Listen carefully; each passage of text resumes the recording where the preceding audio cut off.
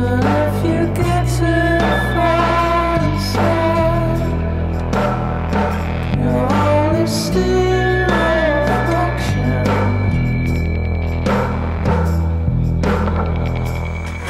what's up, guys? I'm Mike, and welcome to Underground Cinema. Tonight, we're talking about a few films. Uh, some of my favorites, actually.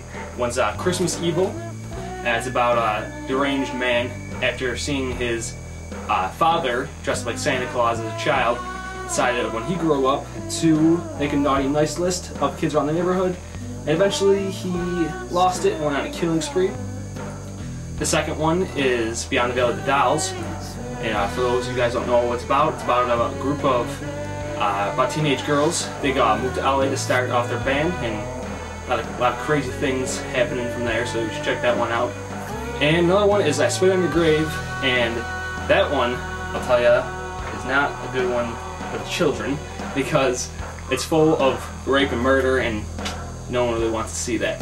But uh, before we start off those films, we're going to start off with a short film done by Michael Connor, Brendan Scherer, and Gavin Edlick called Northeastern.